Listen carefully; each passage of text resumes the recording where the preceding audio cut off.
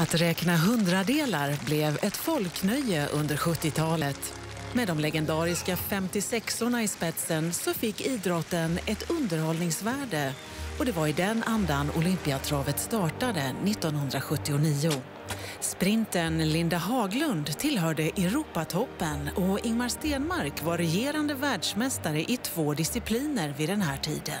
Men hans enda OS-medalj var av brons. Pershing, Bernt Lindstedt, är storfavorit nu i guldmedaljloppet. Tror du att du vinner? Jag hoppas han ska sköta sig nu när det är så mycket folk som tittar på honom. Vem är du mest rädd för? Givetvis Ekberg Skagse. Räknar du med att bli tvåa efter Pershing? Ja, jag räknar med det. Jag är nöjd om jag blir det. Och jag hoppas det.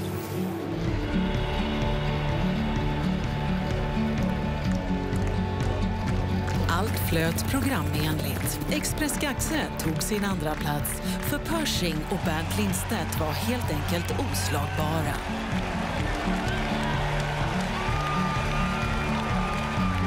Premiärspelet på Olympiatravet gav 4,5 miljoner kronor till Sveriges olympiska landslag. I sommar-OS följande år skulle Linda Haglund slå till med en fjärde plats på 100 meter och tiden 11 sekunder och 16 hundradelar är fortfarande svenskt rekord.